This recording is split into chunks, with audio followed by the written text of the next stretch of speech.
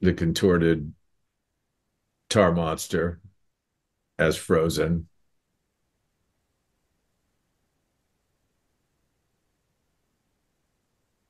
I'm actually humming the music in my head that goes Yeah, along even with this scene. with some of the others, like I added in the voices in my head. there you go.